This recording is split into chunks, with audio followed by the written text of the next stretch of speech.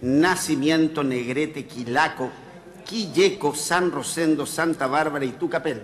El diputado don Roberto Poblete Zapata. Tiene la palabra, señor diputado. Muchas gracias, señor presidente. Agradezco que mencione a cada una de las comunas que integran nuestro distrito, el distrito 47 en la provincia de Biobío. Señor presidente, la lucha de las mujeres en el movimiento social y obrero de nuestro país cuenta con varios nombres importantes, fundamentales a la hora de hacer la bitácora del movimiento social chileno.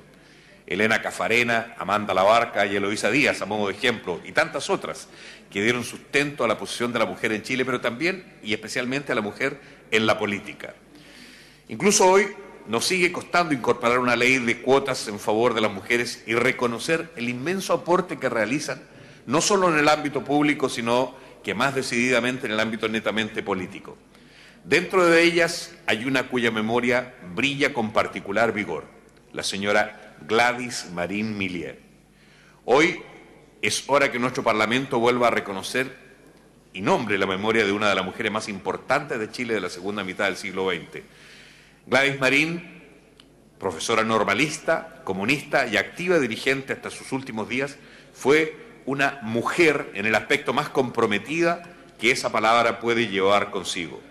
Fue guía de cientos de jóvenes de izquierda, encabezó la vanguardia de la clase obrera y luchó incansablemente por llevarla a la toma de la decisión política.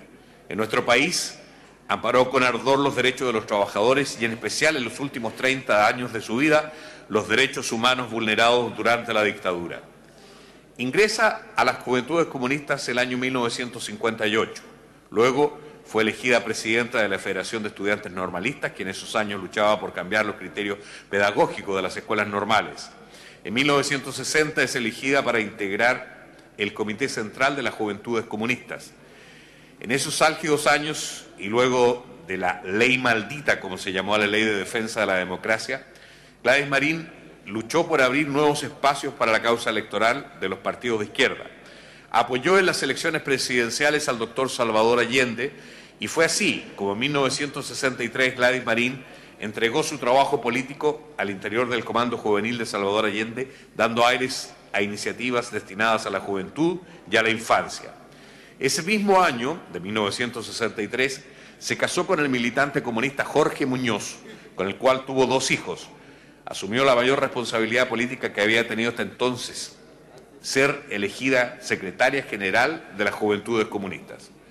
Su conducción dejaría una impronta de alegría, fuerza, convicción, coraje y por sobre todo la muestra de una savia nueva a la política chilena.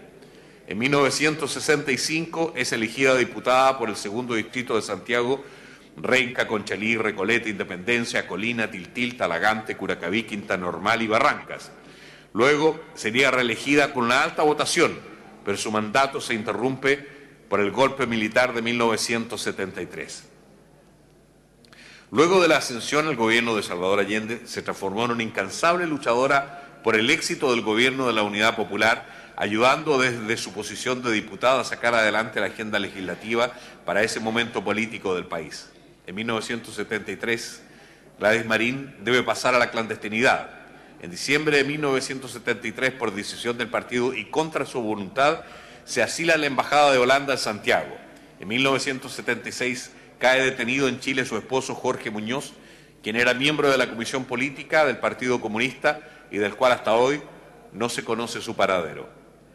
Estos hechos, el golpe militar, el advenimiento de la dictadura, su asilo, la salida de Chile al exilio, el comienzo de la política de exterminio de la dictadura, la separación de sus hijos, la desaparición de su marido y tantos otros forjaron aún más en ella un carácter cuyo talante solo se hizo más grande en la adversidad carácter que sirvió ciertamente a la causa por la que abogó desde el exterior para una pronta salida de la dictadura y llegada a la democracia. Fueron 17 años de peregrinaje, de tristezas duras, pero también de logros políticos internacionales importantes, pues hizo visible para el mundo entero lo que ocurría en Chile en esos años oscuros de la dictadura. Luego del regreso a la democracia en el año 1994, es elegida secretaria general de su partido siendo hasta ahora la única mujer en obtener el mayor cargo de un partido comunista en el mundo. En junio, en 1998, su condición señera vuelve a emerger al ser proclamada como candidata a la, a la presidencia de la República, instalándose en la historia como la primera mujer en inscribir su postulación a la presidencia de este país. Gladys Marín Millier, luchadora de vasto camino, líder indiscutida de causas vinculadas con el progreso de la gente más humilde de Chile. Una mujer del siglo XX que encarnó la aspiración de conseguir por los medios de la observancia de principios universales y de una conducta política invariable la democracia y la justicia social para su pueblo, para los trabajadores y también para sus familias. Que su memoria ejercitada a través de esta moción sirva para que los jóvenes que hoy quieren cambiar el Chile que tenemos sepan que los pasos que ellos dan transitan sobre un camino que ella ayudó a abrir y que con la valentía de la cual solo algunos, seres son capaces, pudo enarbolar alguna de las luchas más nobles que la historia política chilena guarda dentro de sí. La bancada socialista, señora presidenta, estará muy orgullosa de votar a favor de este proyecto. Muchas gracias. Gracias, señor diputado. Quiero decirle que nos quedan nueve minutos para término de la hora que corresponde y quedan cinco personas inscritas. Hay la siguiente posibilidad, que anexen el discurso o que hablen dos minutos cada uno. ¿Qué deciden? Pero dos minutos cada uno. Ok, está bien. Ya hablaron las. Eh,